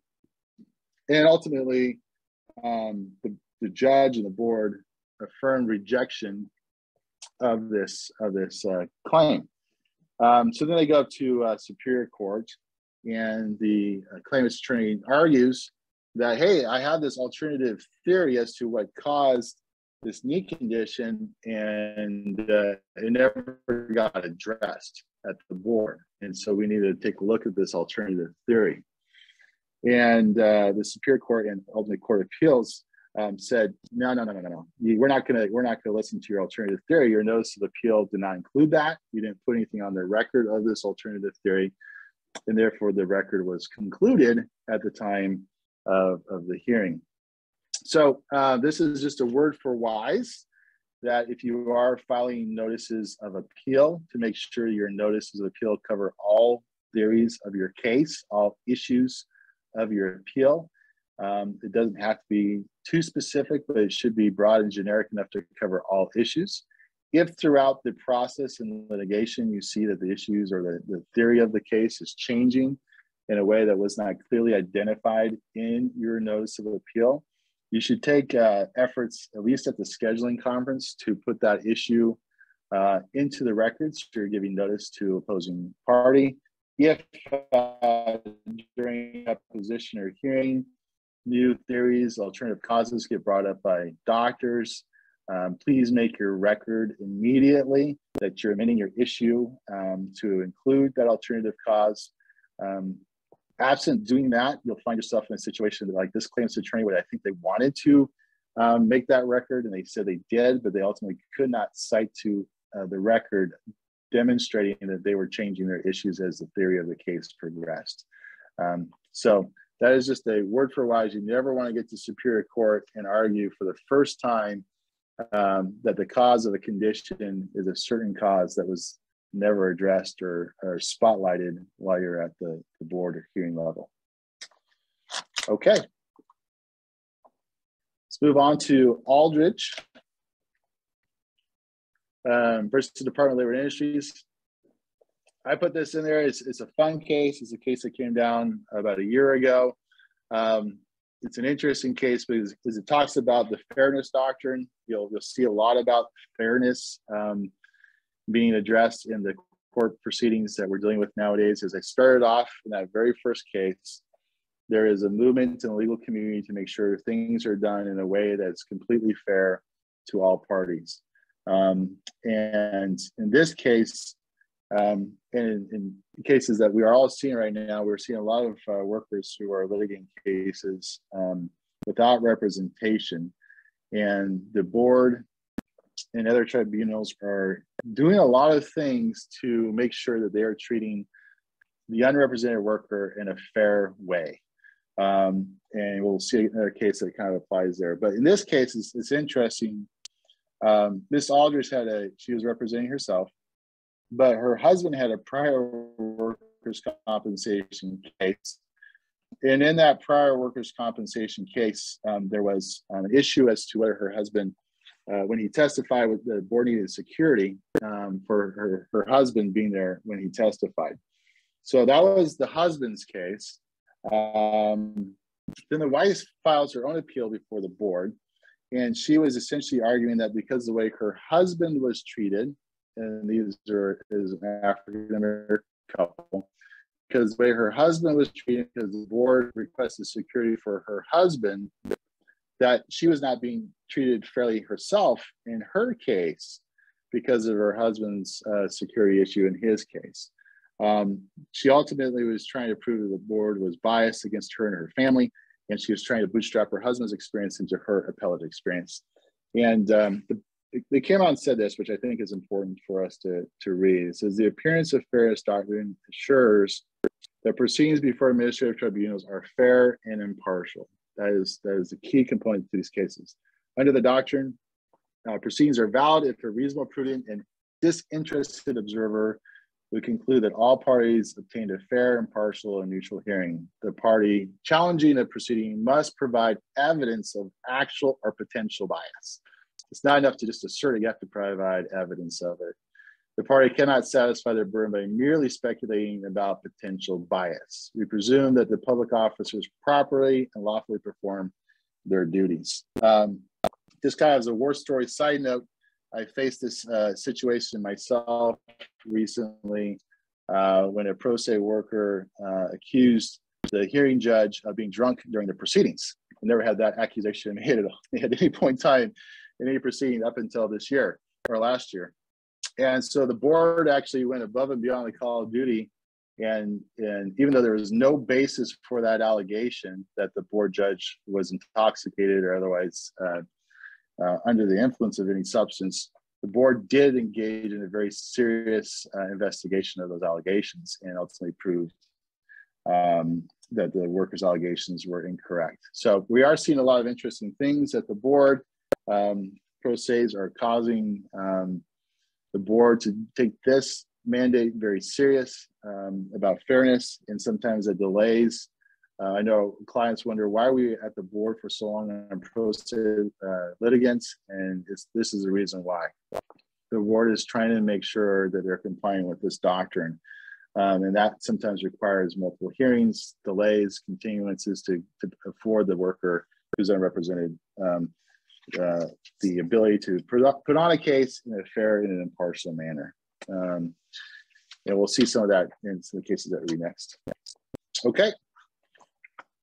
We move on to uh, the Correll v. Glacier Northwest case. Um, this is a case that came down last couple of months. Um, and it's a case that uh, the fact pattern would seem very similar to, to multiple um, situations that we all face. The worker files a claim, worker gets released back to modified or light duty. Worker probably is not the best worker to begin with, but we're trying to accommodate um, their work restrictions. Um, on light duty, the worker was assigned to uh, run errands from uh, one job site to the other job site, east to west job site throughout the day.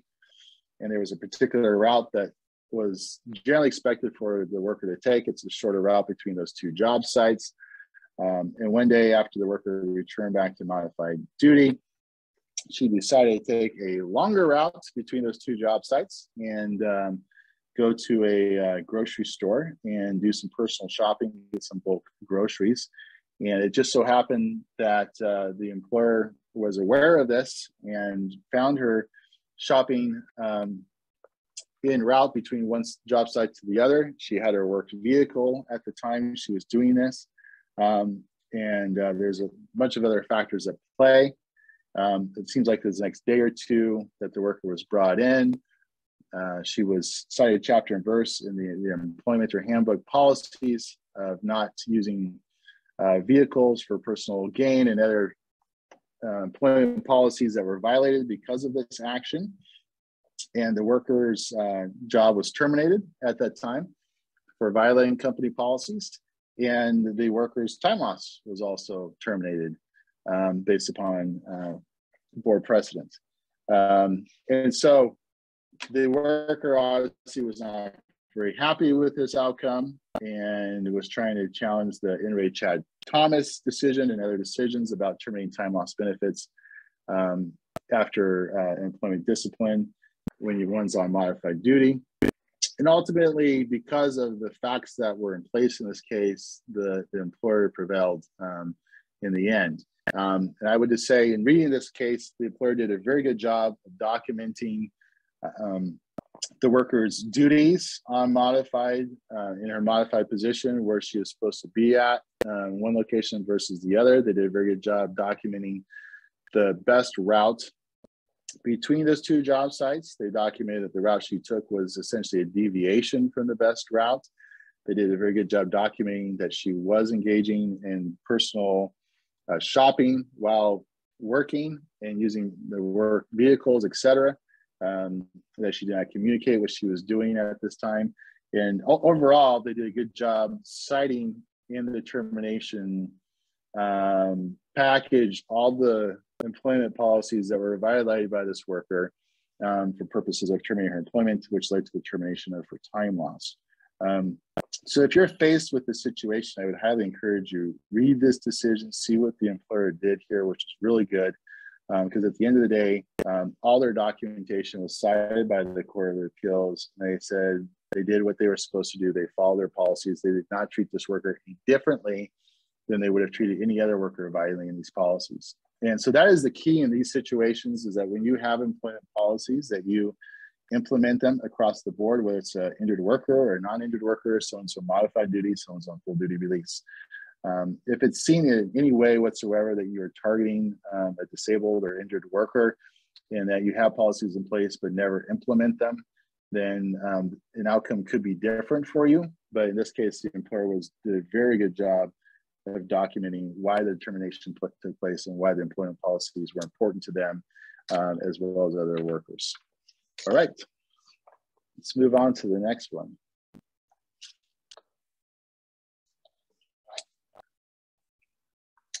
Um, so you'll see in this case, another Court of Appeals cases, um, a lot of timeliness issues. Um, the, the law requires that when you um, are trying to appeal from the board to Superior Court, that you file your, your appeal with Superior Court and that you copy and serve on all parties that um, appeal, that filing. Um, and a lot of issues have arisen over the years on this on this topic, um, and you'll see uh, this last year was not an exception. So in this case, um, the worker was uh, filing. I think the worker in this case was pro se. They filed um, their appeal to Superior Court. Uh, there's some debate as to when they ultimately received the board's petition for review, whether it was May 11th or May 24th, but ultimately it didn't really matter. Um, they, they filed their notice of appeal, what looked like to be timely, on June 18th, but they did not serve uh, the employer and the board until June 28th, which is over 30 days. And they did not serve the department uh, until July 1 of that year. Um, so ultimately, the court said we hold pro se litigants to the same standards as attorneys as to compliance with applicable court rules. We also interpret our rules liberally to promote justice and facilitate the decision of cases on the merits. This is a rule of appellate procedure 1.2 that our um, board judges are very familiar with now and cite uh, when we talk about this fairness doctrine. Notwithstanding um, interpreting rules liberally to promote justice and, and to promote fairness, non-complying with statutory mandates or deadlines does not constitute substantial compliance. Um, and therefore, the hard deadline of 30 days had to be met regardless whether they were pro se or not. And so um, the reason why I wanted to highlight this case is oftentimes I'm seeing at the board where pro se litigants are given kind of a leash, if you will, uh, when it comes to complying with deadlines, complying with certain procedures. And I think this is a good case uh, to cite, in this case law within this case to cite, that would say that you know they are held to the same standards as uh, licensed attorneys or others and that if there is a statutory mandate of a deadline, that they don't get more of a leash or leeway than anyone else. Um, so uh, there you go with that one. It's pretty straightforward. Okay.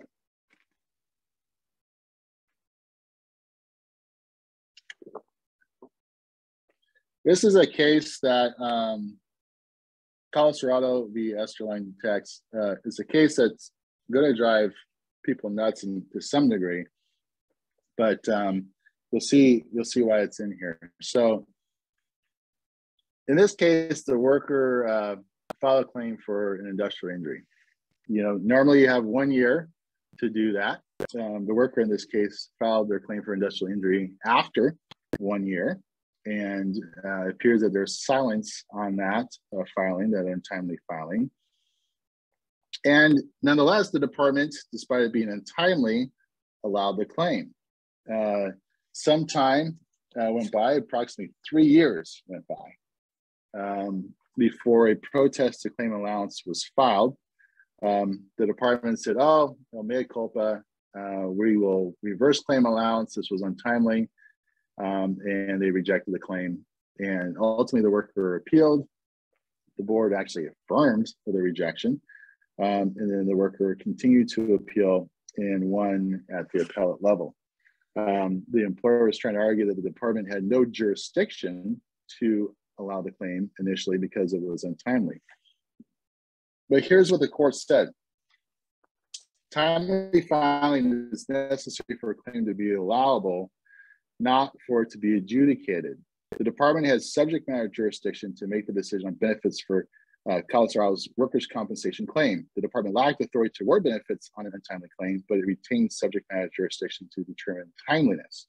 Its determination the claim was allowable was an error of law that Esterline could have successfully challenged by timely protesting order, but failed to do so. Um, so in other words, uh, the department has the ability to look at these things. They have uh, jurisdiction to determine whether a claim is allowable or not, timely or not. If they issue an order, even if it's an error of law, if that order goes final and binding, um, you're kind of out of luck. So if you look at a situation that you're not quite sure if it's timely, you're not quite sure the, the, the department issued order within their authority, protest it. Don't wait three years. Um, if you failed to protest it, uh, regardless of whether the, the department's decision was an error uh, or not, because they have jurisdiction to make the decision, as this court rules, um, if you fail to protest, that decision will become final and binding.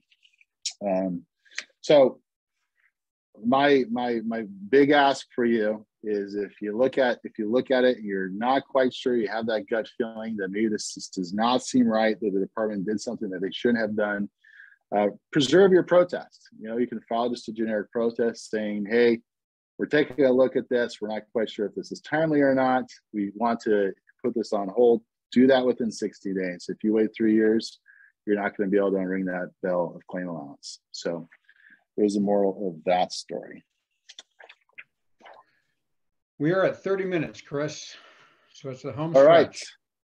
How are we how are we doing? Everyone's still awake out there and uh, I think so. Zoom land, I hope. Okay. Okay. I'll uh we got a few more to cover here and I'll do my best to get through them all, but uh here we go. Let's talk about uh, Dixon v. Department of Labor and Industries. Um, this is very similar to one that we just uh, went over. This is again proper service of an appeal to Superior Court. Um, in this case, the notice of appeal was delivered to the board, but not to the department. The um, the worker said that you know they put the, the department on effective notice of their appeal um, by sending it to the board. The department ultimately got it; so they had effective notice. Um, but here, the Court of Appeal said, no, it's not enough that you serve the board. Um, you also have to serve all other parties. Um, RCW 5152-1110 requires appeal be perfected by mailing it to the department and the board. Um, so just uh, again, a lot of lot of uh, issues occur with service in the last couple of years. Make sure you're reading the statutes, complying with the statutes, and perfecting your appeals um, because they're not giving much by way of leeway. Again, they say non-compliance with an appeal procedure does not constitute substantial compliance, no matter how inadvertent non-compliance may be. Um, so perfect it. Um, if you uh, find yourself in a situation and uh, don't know how you got there, uh, try to find a way to argue that the party that said they did not get notice actually got notice or that you performed the service in a way that was reasonably calculated to give them notice. That's kind of your only out here. Um, so, okay, let's talk about the next one, which is similar to this, the Fred Meyer case. Um, in this case, very similar. Um, claimant, claimant is represented in this case. The claimant uh, attorney actually filed with Superior Court. Uh, at the time of filing, the claimant attorney said that they mailed all the, the documents to the other parties. The other parties um, said they did not get the documents that supposedly were mailed to them. Uh, claimant's attorney and his office signed a bunch of declarations about how they filed the, the documents, how they mailed the documents, their process for filing, the process for mailing, the recollection of putting the documents in the mail. Um, and uh, essentially, they argued we did everything we had to do. We're blaming the United States Postal Service here, guys. Uh, it's not our fault they don't function properly. Um, so, uh, in this case, the, the Court of Appeals uh, uh, dismissed Fred Meyer's challenge to the perfection of, of the uh, filing they said a party um, that shows an office custom with respect to mailing and compliance with the custom in specific instances um, is enough to show evidence that they perfected the filing and the service. And mere evidence of non-receipt cannot be used as a basis to deny the worker the opportunity to have his appeal heard. So just because you don't get it, um, if the other side provides declarations and they swear up and down that we mailed it, we mailed it, we mailed it, the court's not going to deny the worker their appeal um, if they can show that they follow their established practices. Um, I disagree with that, um, but um, that's what the court says, I think if you find yourself in this situation, a good thing because you know there have been mailing issues. Um, you know, find ways to better serve. Um, you can do a certified mail, get agreement to uh, have the other parties receive it by fax or email. But make sure you, when you file, that you have some sort of receipt that you can point to that you mailed it um, and the other side agreed to that form of receipt. That will save you a lot of headaches. So, okay. Um, next case, Simpson v. Department of Labor Industries. Um, believe it or not, we are still litigating parking lot cases. Um, this parking lot case actually went all the way to the Court of Appeals.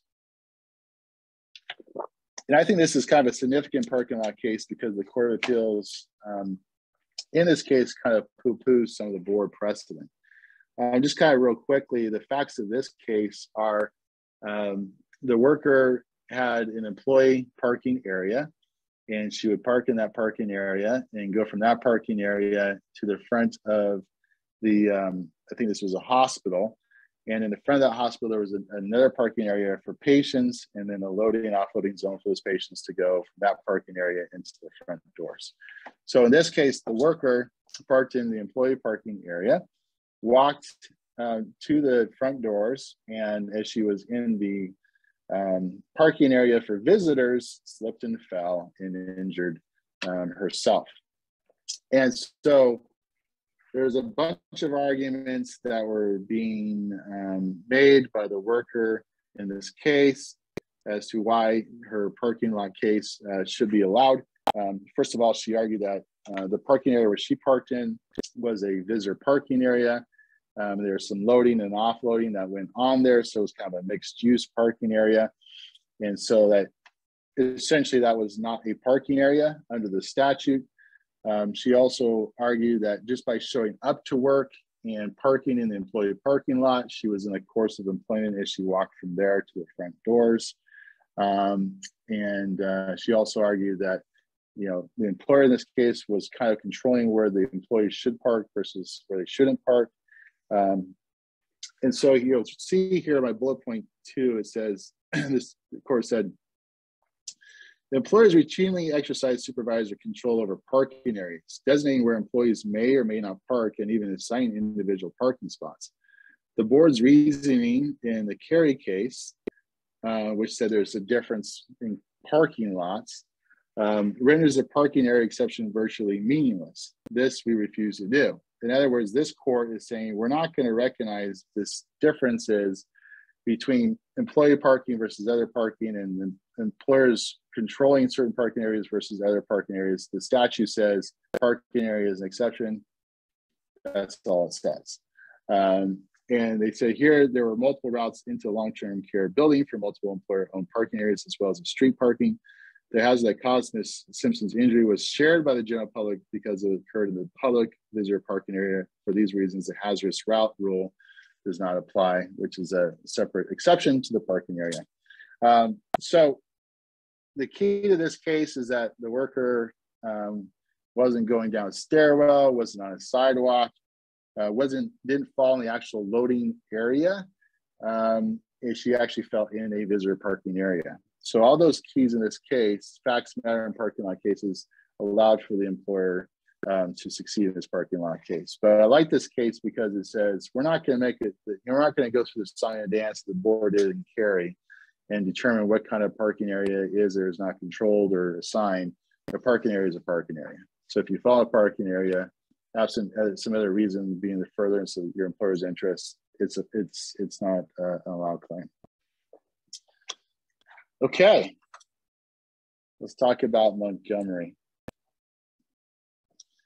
Uh, just real quick, uh, this is a again another uh, timeliness case. In this case, uh, the claimant's attorney had to file a petition for review to the board. Um, it just so happened that in March of 2020, the COVID pandemic was declared an emergency, and things and everything was being closed down and shut down, and we were all quarantined and, and in our homes, not leaving and doing things uh, that were not normal to us. Um, so in this case, unfortunately, the claimant's attorney um, had a deadline to file a petition review in March of 2020.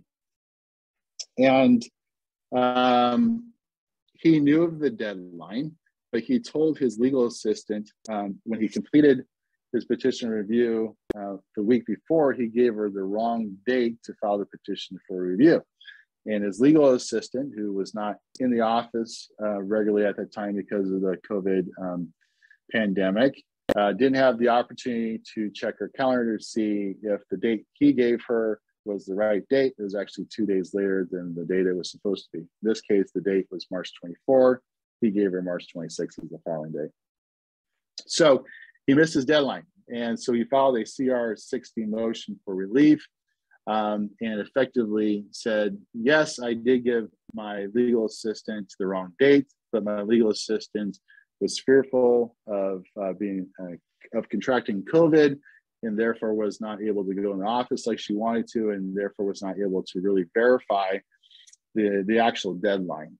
Um, so here, um, the board um, did not give him the relief. The Superior Court did not give him relief. Neither did the Court of Appeals.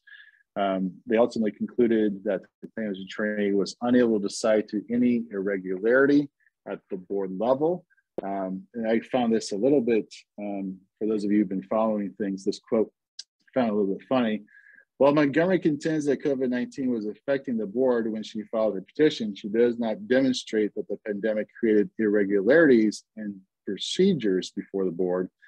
Nothing in the record indicates that COVID 19 impacted the board's procedures or processing of case Montgomery's case. So uh, we know that there have been irregularities at the board, but in this case, uh, the claimant's attorney was not able to prove those impacting them. And the moral of this story is don't throw your legal system under the bus. Accept you're following your sword if you're trying to miss your deadlines. Um, we're ultimately responsible for knowing and meeting our deadlines. And uh, it wouldn't be fair to, to say that your legal assistant um, is responsible. So just a second. For me, Cameron, my earbuds just died for some reason. Sound, sound okay. Okay, sorry about that. I had them fully charged and I guess I was just talking too much. Maybe put them away here and 15 minutes, you're almost at the finish line. all right, but you can still hear me all right? Yeah, sound fine. Perfect. Okay. Um, let's spend some time on this case.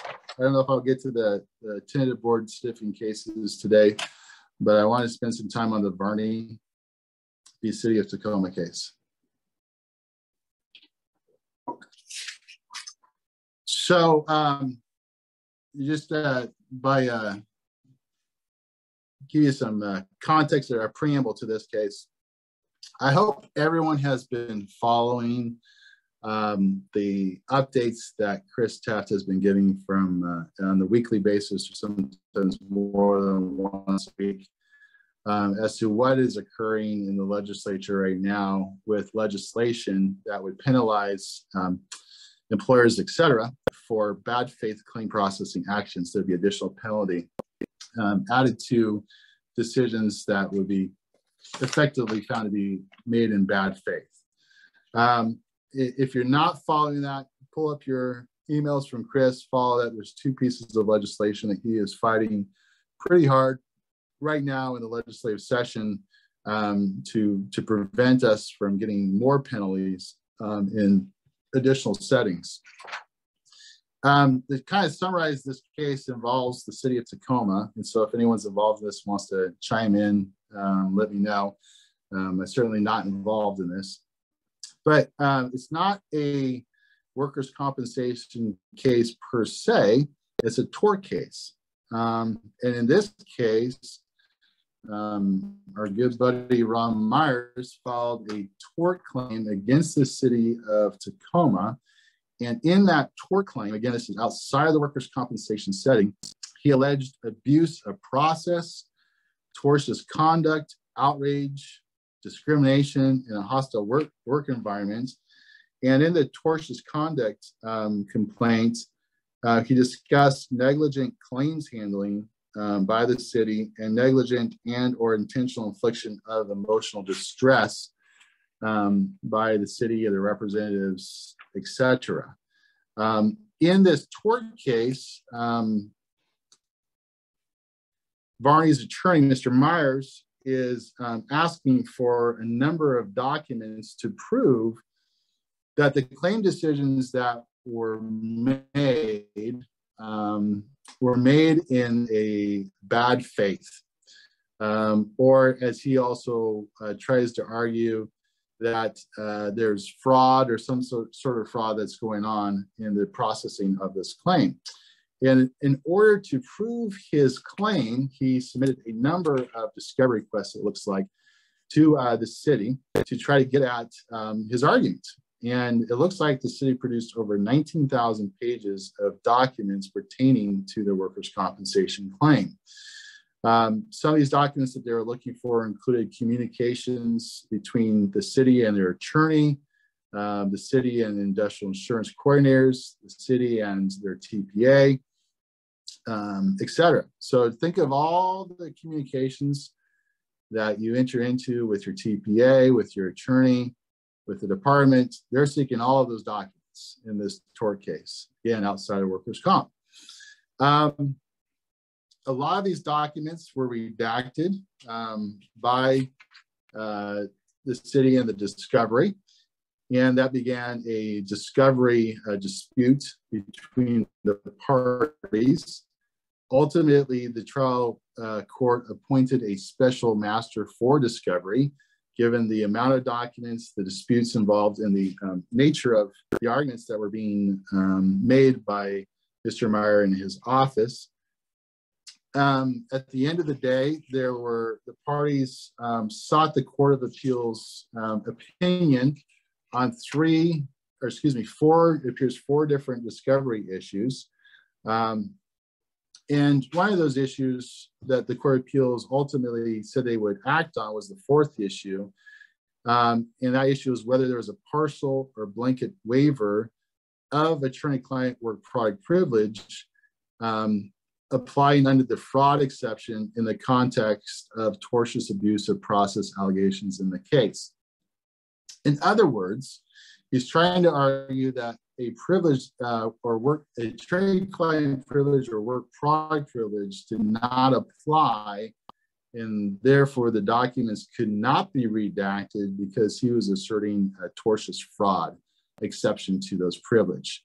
And he was using um, a case, the Cedell or Cedell, C-E-D-E-L-L case, the State Farm case, that says when there is bad faith or fraud proven in the processing of claims, then you can't hide under um, a privilege to, um, to say the documents cannot be provided under the fraud exception, bad faith fraud exception. So at the end of the day, uh, he's trying to get at everything, every document that we consider privileged in workers' comp.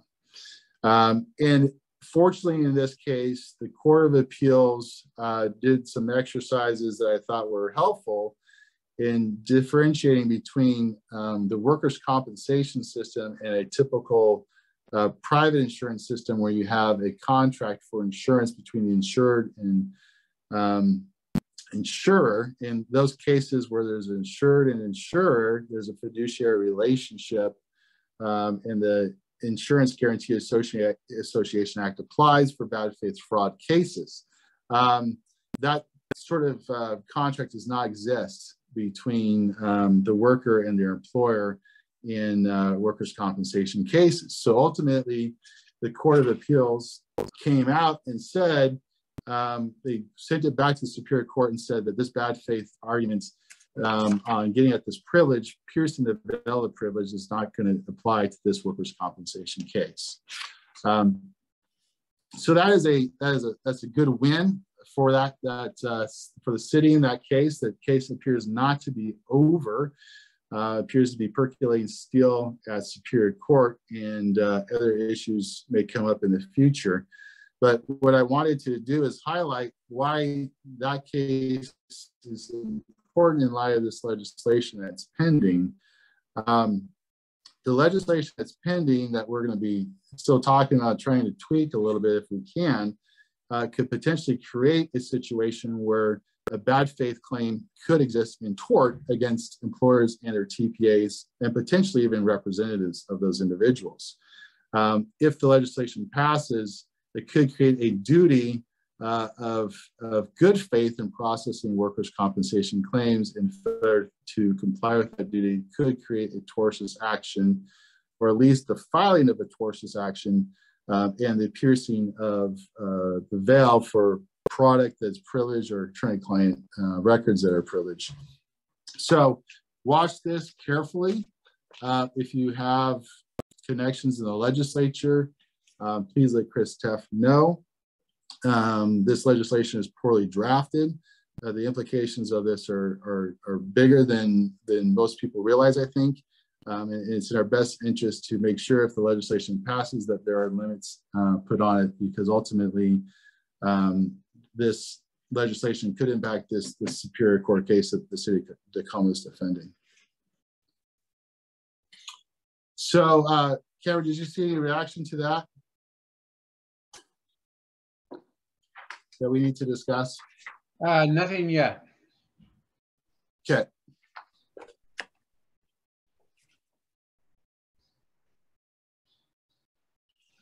So I'm going to um, skip through a couple cases here.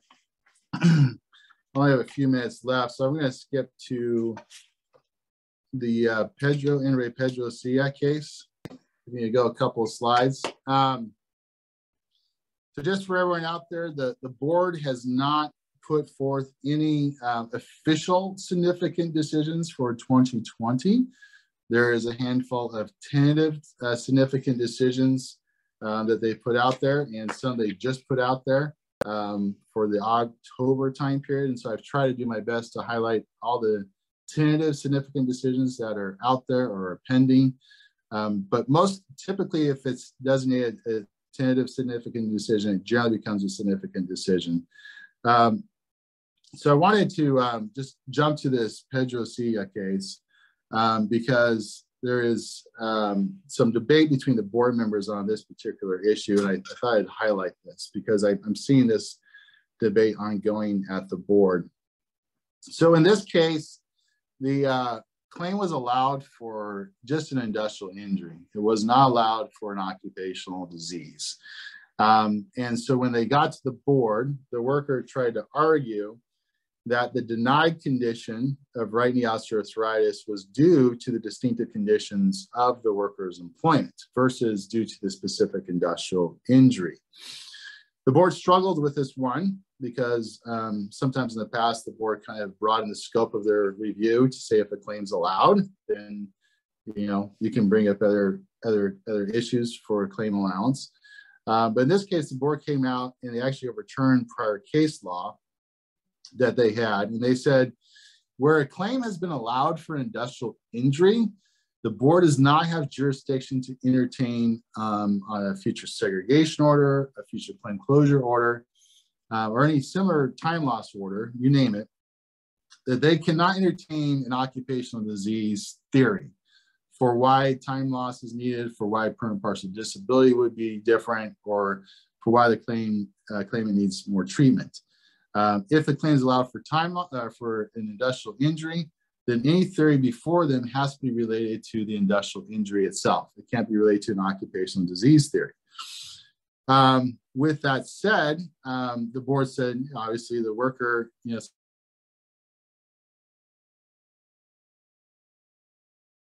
I think in the past, sometimes board judges would say, hey, for purposes of uh, expediency and moving things along, we'll address an occupational disease theory and an industrial injury allowed claim, but they're putting their foot down saying we're not going to do that. Um, why I think this debate is still alive is you'll see that um, there's a dissent from Isabel Cole where she says the following. Um, throughout the history of the act, the rules have been adjusted to ensure the promise of swift and certain relief is met. Bold print has become required in all determinative orders to alert the claimants that failure to appeal that order will result in that order becoming final. This works well when the specific benefit being allowed or denied is spelled out in the order. But in the case of allowance orders, there's nothing in the wording that explains the granting of one benefit means the loss of another by failure to appeal the order. So in essence, what Isabel's saying is, you know, typically the department in self-insured claims don't allow a claim for a specific condition or for a specific reason. And therefore it's unfair to the worker to not allow them to pursue an occupational disease theory on allowed industrial injury. So I think this debate may be ongoing. Um, who knows where uh, uh, we'll end up at. I know in another case that uh, Isabel Cole did a dissent and she continued to cite to the CJ case. Um, so she's not done uh, addressing that. Okay, let's uh, move on to uh, Mountie real quick. Um, quick moral of the story on, on, on the Carrie Mountie case. Claim closes. Uh, the worker wants additional time loss from the time that the claim, uh, the time loss was terminated until claim closure. It's about a, a two month period of time.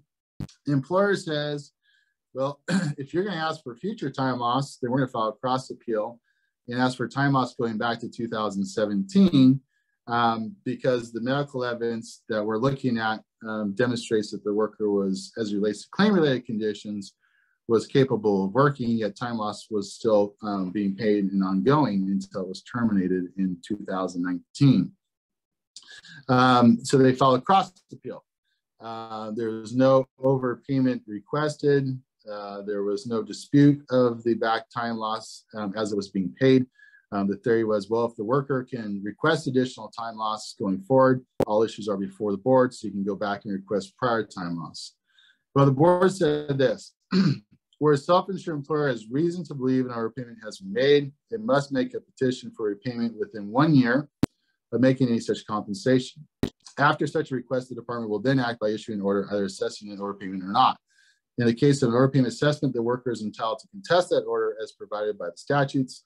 The attempted cross appeal skirts the statutory obligations surrounding overpayment assessments.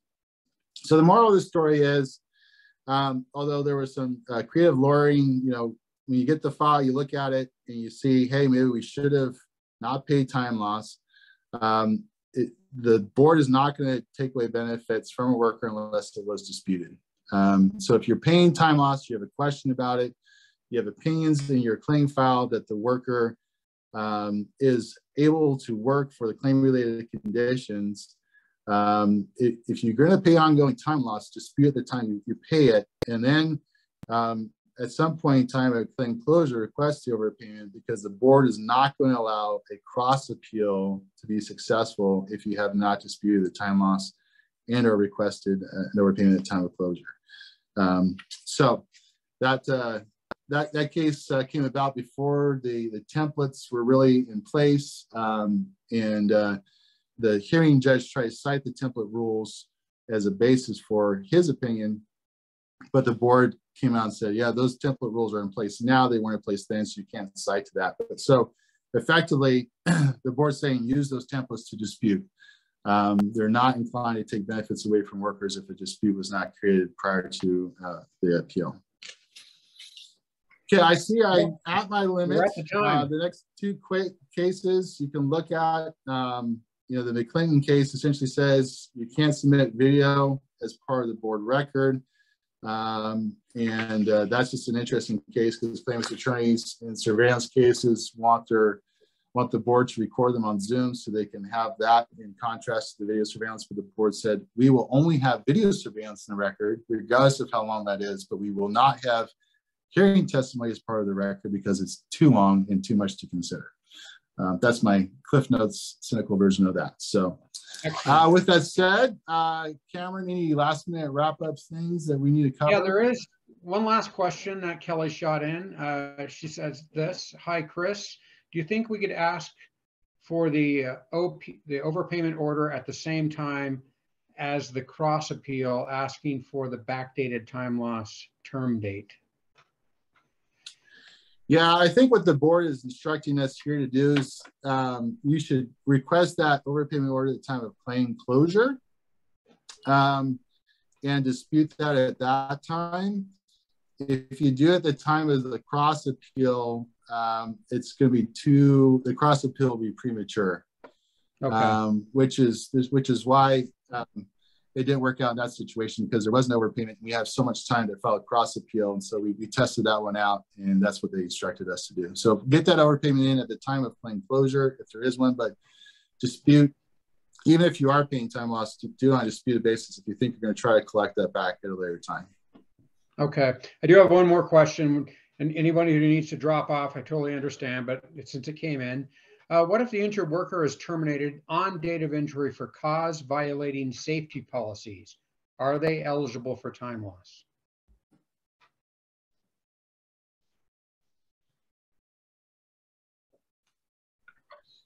Um, well, there's a lot of to question depends. Um, uh, were they taken off work um, by the doctor? Uh, would be one question I would ask if they're if if they've been taken off work um, by the doctor. There's a lot of facts involved there.